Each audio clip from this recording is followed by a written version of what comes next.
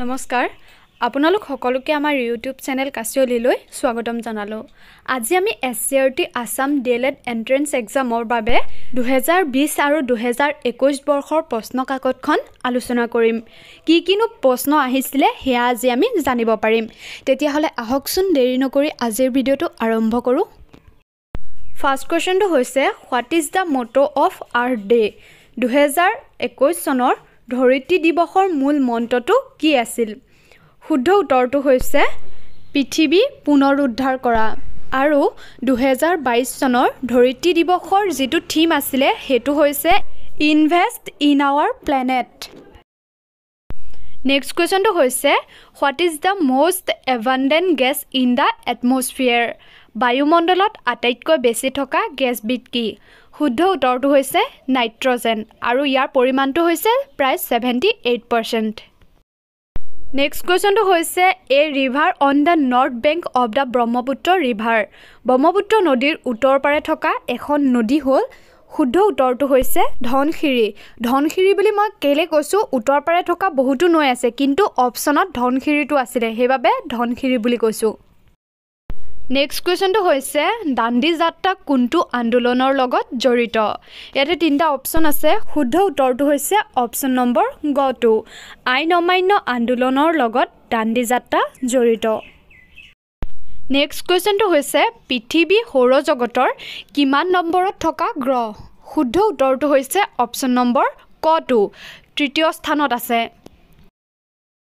Next কুৱেশ্যনটো হৈছে which of the following state does not border Bangladesh? বাংলাদেশৰ সীমাৰ লগত তলৰ কোনখন ৰাজ্য লাগি থকা নাই? অপশ্যনত আছে মিজোৰাম নাগালেণ্ড আৰু অসম। শুদ্ধ উত্তৰটো হৈছে অপশ্যন নম্বৰ খটো নাগালেণ্ড। নেক্সট কুৱেশ্যনটো হৈছে ৰাষ্ট্ৰীয় ঘাইপথটো কোনে চোৱা চিতা কৰে? শুদ্ধ উত্তৰটো হৈছে highway authority of India. Next কুৱেশ্যনটো হৈছে ভাৰতৰ কেন্দ্ৰীয় বেংকটোৰ নাম কি? শুদ্ধ উত্তৰটো হৈছে option number খটো R B I reserve bank of India next কুৱেশ্যনটো হৈছে ইয়াণ্ডাবু সন্ধি কাৰ কাৰ মাজত হৈছিল? শুদ্ধ উত্তৰটোতো আমি সকলোৱে জানো। উত্তৰটো হৈছে ইংৰাজ আৰু মানৰ মাজত ওঠৰশ ছাব্বিছ চনৰ চৌব্বিছ ফেব্ৰুৱাৰীত ইয়াণ্ডাবু সন্ধি হৈছিল। নেক্সট কুৱেশ্যনটো হৈছে the concept of fundamental rights is taken from which state মৌলিক অধিকাৰৰ ধাৰণাটো কোনখন ৰাষ্ট্ৰৰ পৰা লোৱা হৈছে? শুদ্ধ উত্তৰটো হৈছে মাৰ্কিন যুক্তৰাষ্ট্ৰৰ পৰা। আপোনালোকে বহুত ৰিকুৱেষ্ট কৰি আছে যে কুৱেশ্যনসমূহ ইংলিছত দিব লাগে। দিবলৈ চেষ্টা কৰিছোঁ আছামিজৰ পৰা ইংলিছলৈ ট্ৰান্সলেট কৰিছোঁ ৱৰ্ড ক'ৰবাত এটা দুটা খেলি মেলি হ'ব পাৰে আপোনালোকে নিজে শুধৰাই ল'ব। নেক্সট কুৱেশ্যনটো হৈছে কৰোণা ভাইৰাছ প্ৰথমে কোনখন চহৰত উৎপত্তি হৈছিল? এই কথাটো আমি কেতিয়াও পাহৰিব নোৱাৰোঁ। শুদ্ধ উত্তৰটো হৈছে অপশ্যন নম্বৰ খটো চীন দেশত। নেক্সট কুৱেশ্যনটো হৈছে ছাত্ৰ ছাত্ৰীসকলক ৰেডিঅ' শুনিবলৈ দিলে বা শ্ৰুতলিপি দিলে কি ক্ষমতা বিকাশ ঘটে? শুদ্ধ উত্তৰটো হৈছে শ্ৰৱণৰ ক্ষমতা বিকাশ ঘটে। নেক্সট কুৱেশ্যনটো হৈছে মাটিত নাইট্ৰজেনৰ পৰিমাণ বৃদ্ধি কৰে অপশ্যনত দিছে বেক্টেৰিয়াই ভেঁকুৰ আৰু শেলাই শুদ্ধ উত্তৰটো হৈছে অপশ্যন নম্বৰ কটো বেক্টেৰিয়াই নেক্সট কুৱেশ্যনটো হৈছে পক প্ৰণালীয়ে ভাৰতৰ পৰা কোনখন দেশক পৃথক কৰিছে? এই প্ৰশ্নটো মই বাৰে বাৰে কৈ আছোঁ। শুদ্ধ উত্তৰটো হৈছে শ্ৰীলংকা। নেক্সট কুৱেশ্যনটো হৈছে what is the name of the largest national parks in India ভাৰতৰ সৰ্ববৃহৎ ৰাষ্ট্ৰীয় উদ্যানখনৰ নাম কি শুদ্ধ উত্তৰটো হৈছে হেমিছ নেশ্যনেল পাৰ্ক নেক্সট কুৱেশ্যনটো হৈছে কোনখন মহাদেশৰ মাজেৰে বিষুৱ ৰেখা কৰ্কটক্ৰান্তি আৰু মকৰক্ৰান্তি ৰেখা পাৰ হৈ গৈছে শুদ্ধ উত্তৰটো হৈছে অপশ্যন নম্বৰ খটো আফ্ৰিকা মহাদেশৰ মাজেৰে নেক্সট কুৱেশ্যনটো হৈছে what is the structure of education according to the new education policy নতুন শিক্ষানীতিৰ মতে শিক্ষাৰ গঠন কেনেধৰণৰ? শুদ্ধ উত্তৰটো হৈছে five plus three plus three plus four next কুৱেশ্যনটো হৈছে what is the name of the most population state in India ভাৰতৰ আটাইতকৈ জনবহুল ৰাজ্যখনৰ নাম কি? শুদ্ধ উত্তৰটো হৈছে উত্তৰ প্ৰদেশ। নেক্সট কুৱেশ্যনটো শেলাই হ'ল এবিধ শেলাই এবিধ কি সুধিছে? শুদ্ধ উত্তৰটো হৈছে উৎপাদক। নেক্সট কুৱেশ্যনটো হৈছে ছাত্ৰ ছাত্ৰীসকলক বাতৰি কাকত গল্প আদি পঢ়িবলৈ দিলে কি প্ৰণালীৰ বিকাশ হ'ব? শুদ্ধ উত্তৰটো হৈছে পঠন প্ৰণালীৰ বিকাশ হ'ব। নেক্সট কুৱেশ্যনটো হৈছে আন্দামান নিকোবৰ দ্বীপপুঞ্জ ক'ত আছে? শুদ্ধ উত্তৰটো হৈছে বংগোপসাগৰত আছে। নেক্সট কুৱেশ্যনটো হৈছে what is the state flower of Assam অসমৰ ৰাজ্যিক ফুল কি?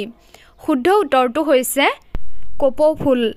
অসমৰ ৰাজ্যিক ফুল কি গছ কি চৰাই কি এইকেইটা আপোনালোকে মনত ৰাখিব কাৰণ প্ৰত্যেক বছৰে আহি থাকে।